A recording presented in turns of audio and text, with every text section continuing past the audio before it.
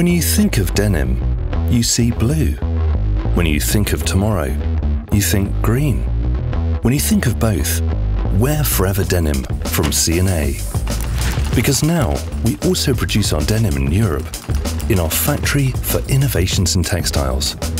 This is also where our new Forever Denim collection is created, made from organic cotton and using renewable energy for a smaller ecological footprint.